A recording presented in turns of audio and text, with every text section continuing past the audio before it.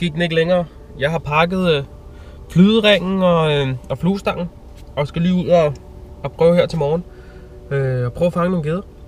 Øh, klokken er, ja, lidt i, lidt i syv, og det er kun 2 grader udenfor. Altså 2 grader.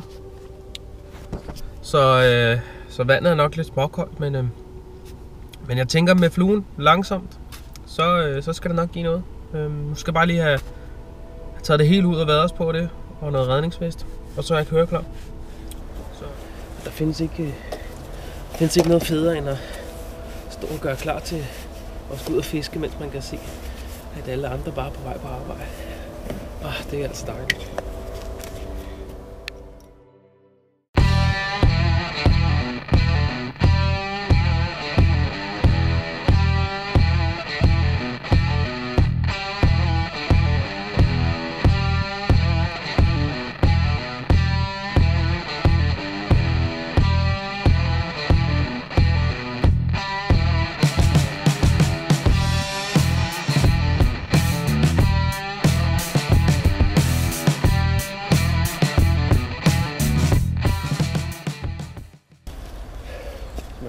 Stadigvæk lidt mørkt.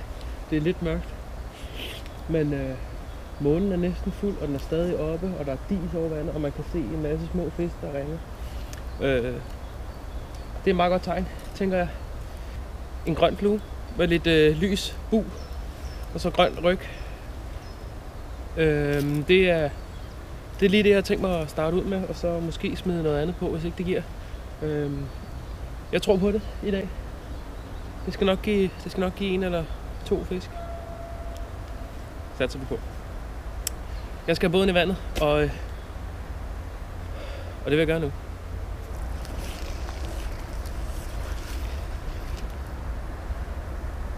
tror, der står noget lige herinde. Jeg tror lige herinde. Lige herinde, der må stå noget. Lige her, hvor der lige er sådan en lille pile ind i grøden. Det kan simpelthen ikke passe, der ikke står noget derinde.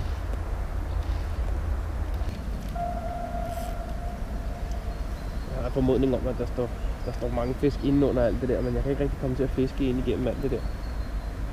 Så jeg må prøve at fiske på kanterne af det og se, om jeg kan, kan trække nogle af fiskene ud, hvis de står lige på kanten af det. Der er ikke andet for.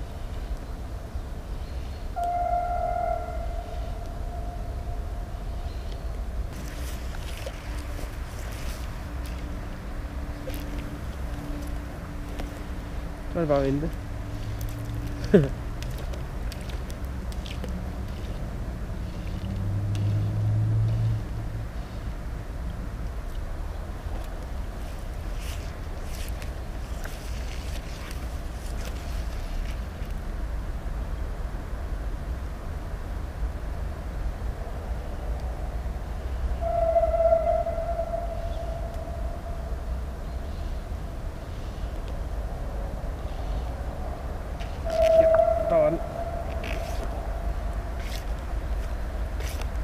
var den sgu. Ikke noget monster, men øh, en lille skovgede.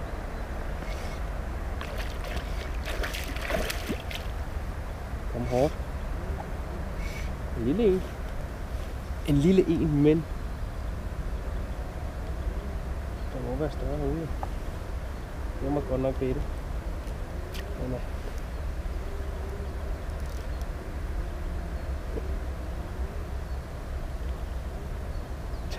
den sidder ikke engang fast i krogen. Den sidder fast i flashen. Jeg fanger en fisk under krogen. Det er meget godt. Det er ikke så tosset. Så er det blive større. Kom ind. Yeah. Ej, jeg håber lidt på, at øh, der kommer nogen med noget størrelse, men den tog den du, hårdt. Når jeg, øh, jeg kigger lige så stille på linen. Jeg kigger på linen, når den ligger i vandet også, om den, øh, jeg ligesom lader den hænge. Og så kan jeg, kan jeg se, hvis linen begynder at strække sig ud, så tager jeg hurtigt fat. Øhm, så er det der lige skete her på denne her. Jeg har næsten lige skiftet tilbage til den her flue. Så øh, måske er det den, der er, øh, Det er den, jeg har haft to hug på, og nu en fisk, så, øh, så nu er det bare at fortsætte. Det var fandme fedt, endelig lige at få noget, så det kan være, de vågner op nu. Nice.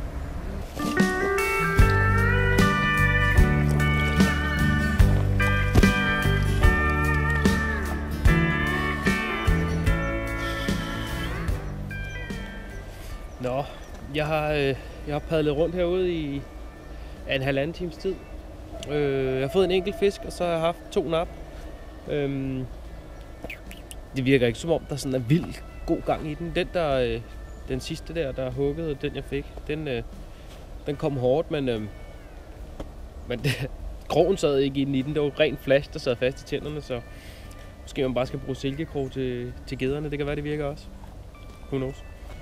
Men øh, jeg har en idé om lige at tage et træk mere på en time, halvanden times tid, og, øh, og hvis ikke øh, der søen liver lidt op nu, når, sø, øh, nu når solen øh, slipper træerne, så, øh, så, øh, så pakker jeg gradet op i bilen, og så kører jeg hen til en anden sø og prøver den.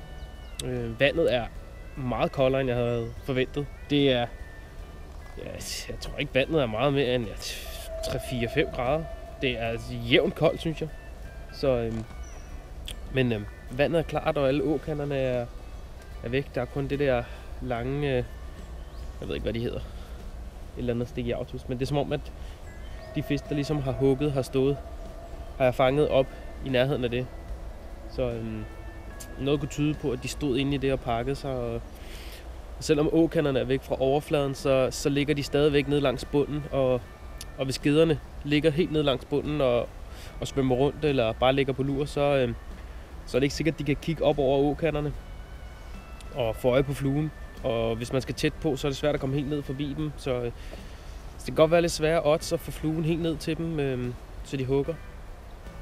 Og, øh, og søen øh, fuld af liv, så der er masser af føde til fiskene. Så nu prøver jeg lige en, prøver lige en halv times tid, eller en time mere, tænker jeg.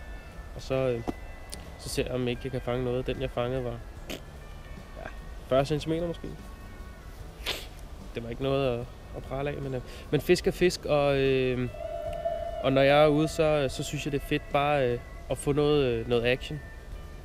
Så øh, 10 små fisk på en dag, det vil være super fedt for mig.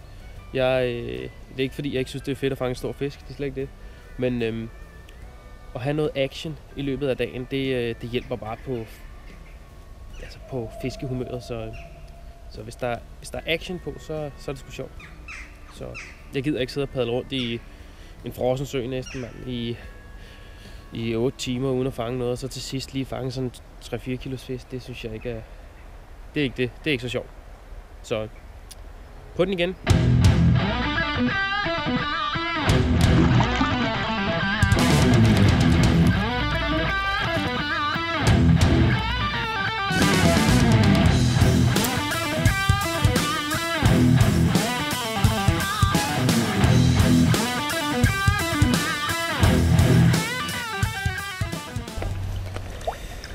Nå, det var, øh, det var ikke nogen succes heller. Den næste halvanden times tid her. Øh, jeg prøvede lidt rundt omkring kanterne. På det lave. På det helt lave. Øh, der har ikke været noget aktivitet overhovedet. Ikke engang øh, et lille nap eller noget. Så nu, øh, nu vil jeg gå op til bilen, og så vil jeg muligvis køre videre til noget nyt fiskevand og prøve det. Øhm, der er ikke andet for, altså. Jeg kunne nok godt blive ved her et stykke tid, men jeg tror ikke, det give noget. Det tror jeg ikke, så havde jeg mærket mere. Så det er bare øh, afsted til det næste fiskevand, og så øh, jeg lidt fingre for, at det er bedre, mand. Hold kæft, hvor skod. Det er så lang tid siden, jeg har taget mig tid til at tage ud i den her spasserring. Er der ikke en hat, der gider lege med. Sådan er det jo. Altså sådan er fiskeri, desværre. Det er som om giderne ikke fatter, at det er efterår. Det er, altså nu er det, nu vi skal spise. Men øh, der er ikke andet for end at prøve noget, en anden sø. Og så, så giver jeg den en skud. Så tilbage til bilen.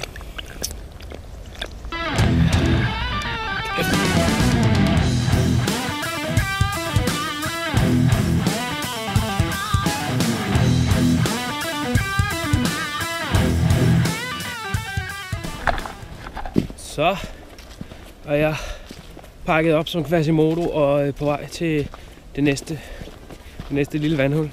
Øhm, det andet var jo ikke så godt, så øh, nu er solen kommet frem, og det er nul vind, og det er skyfrit, så øh, det er faktisk de bedste betingelser.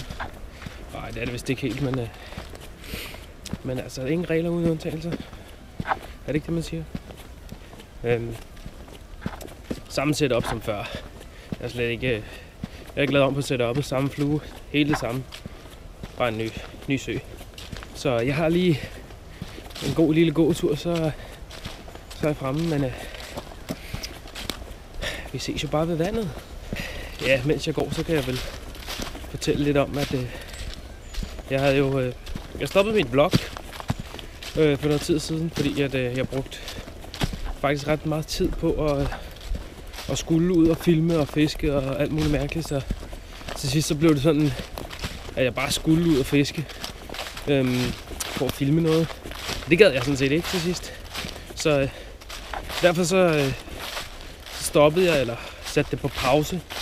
Jeg har overvejet, om jeg skulle øh, starte op igen, men nu løber vi jo de kolde måneder i, i møde, og man kan sige, lige pludselig så er der sne, og så er, det, så er der is på søerne, og så er der selvfølgelig kysten. Men øhm, det kan da godt være, at jeg starter det op nu her igen, bare for sjov skyld, og, øh, og ser på det. Men øhm, målsætningen er måske bare at lave nogle, nogle lidt mere stille og rolige videoer med fiskeriet, uden at være afhængig af at skulle øh, lave en upload en gang om ugen. Så øhm, det er i hvert fald planen. Mit, øh, mit andet kamera til reparation, som, øh, som har taget rigtig lang tid, og det endte op med, at jeg skal ned og hente et nyt her i morgen, tror jeg. Så, øh, så det, øh, det glæder mig lidt til, fordi jeg er lidt, øh, jeg er lidt vendet mig til at have to kameraer med ude, så, øh, så, så kun at have et lige pludselig at skulle, ja, jeg ved ikke hvorfor, men øh, jeg synes bare, det er rart at have to med. Det kan også være, det er bare mig. Men øh, sådan er det. Men altså, vloggen den er jo stadig på pause. På ubestemt tid. Måske til foråret bliver det sådan, går jeg all in igen. Men, øhm, men nu må jeg se. Kommer lidt an på, øh, hvordan der var lavet tingene ser ud. Hvis, øh, hvis det hele lige pludselig flasker sig, og jeg synes, det kunne være mega sjovt, så gør jeg det bare igen. Det er jo det gode. Men øhm, hov. indtil videre så vil jeg lave de her tur-videoer, hvor jeg tager på, tager på tur og fisker lidt. Jeg fisker stadig. Altså det er ikke fordi, jeg stopper med at fiske, at jeg ikke rigtig har lavet film. Det er det, det, altså, det, er det heldigvis ikke. Øh, man kan sige, det er bare lidt anderledes at, at fiske uden øh, at skulle være kameramand og, og lydmand og alt muligt mærkeligt. Og øh, altså, jeg tror, det er de færreste, der ved, hvor meget, hvor meget arbejde man egentlig bruger på bare at, at, at redigere film og sådan noget. Det tager en krig nogle gange. Især hvis man har hvis man ikke lige har styr på sine optagelser, og man skal have, have, have set øh, ja, det meste af det igennem. Så, men øh, sådan er det. Nu, øh, nu er jeg snart fremme, og så... Øh, åh, det ser helt stille ud. Åh, det er sådan en sø med fyldt med grøde. Altså virkelig meget grøde. Helt op til kanten om sommeren. Om sommeren er der fuld med grøde. Men, øh, men den plejer, den plejer at være god for en fisk eller to også. Ligesom den anden. der var kun én. Men, øh, men det her, der plejer jeg at få, øh, en, have en del kontakter og, og have fisk, der ligesom slår ud efter fluen. Men øh, på grund af, at der er så meget grøde, tror jeg, så, så er det lige pludselig, når man kommer forbi stotten på den, når den står klar, så hjerner den ud i fluen. Og øh, jeg håber virkelig, at, øh, at den her sø, den er, er der lidt mere gang i. Det kunne, det kunne da godt være, faktisk. Umiddelbart kunne det godt være mere gang i den. Øhm, jeg har ikke rigtig fanget nogen store fisk herinde, men det er sådan set heller ikke øh, jeg går efter at få noget, noget action. Og, øhm, og så er det, er det meget fedt med en sø, hvor der, altså, der kan godt være, der går en en 3-4 kilo skide dernede eller noget. Men ikke sådan noget stort 8-10 kilo, tror jeg bestemt ikke, der, der er her i den her lille skovsø. Men øh, lad os se, om vi ikke kan få noget action. Eventuelt så, selvom det er koldt, så kan, så kan den her sø altså godt lokke en, øh, en gede til overfladen på en popper. selvom det er, er koldt i vejret. Så øh, nu bliver det spændende. Det er spændende. Åh, oh, den står helt skæv, mand. Jamen altså. Ip.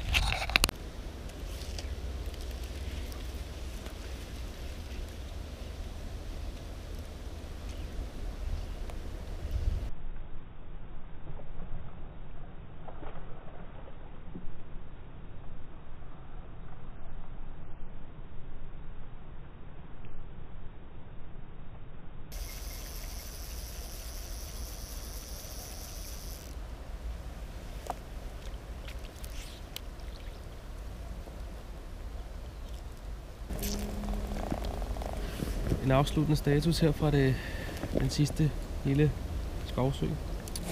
Øhm, der var et par enkelte slag. Der var noget efter den her prototype, jeg er i gang med at, at finde ud af, hvordan den skal være. Øhm, det var det eneste, faktisk. Øh, men øh, jeg kunne se gederne. Jeg har faktisk se, øh, jeg har set en del, der ligesom har været op, og skallestimer, der har eksploderet på overfladen, men øh, men jeg har simpelthen ikke uh, kunne komme i nærheden af dem. Så uh, ingen fisk i den her sø. nu vil jeg trille hjem af. Tak fordi du så med. Vi ses en anden gang.